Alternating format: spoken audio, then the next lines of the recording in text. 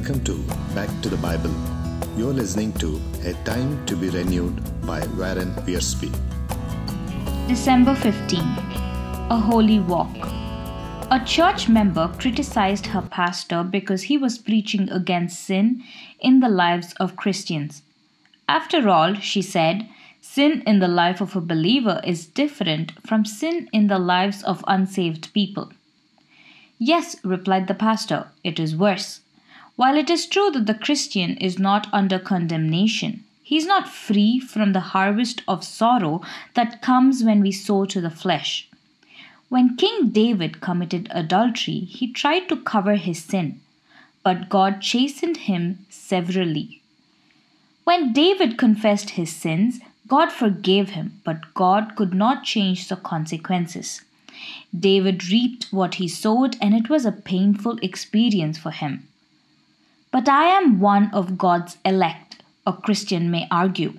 I belong to Him and He can never cast me out. Election is not an excuse for sin, it is an encouragement for holiness. The privilege of election also involves responsibilities of obedience.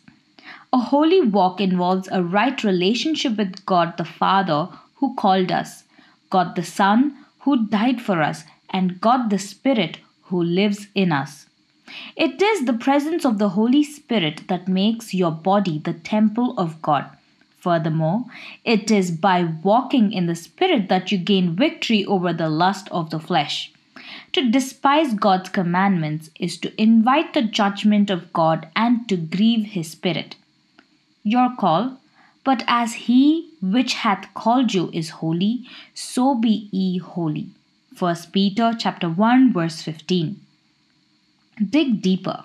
Colossians chapter 3 verses 23 to 25, John chapter 5 verse 24, Romans chapter 8 verse 1, Galatians chapter 6 verses 7 to 8, 1 Thessalonians chapter 4 verse 7, 1 Corinthians chapter 6 verses 19 to 20, and Galatians chapter 5 verses 16 to 25. Read Psalm 51 and list the things David felt he had lost and wanted back as a result of his sin. Talk with God about any sin he may see in your life. Amen.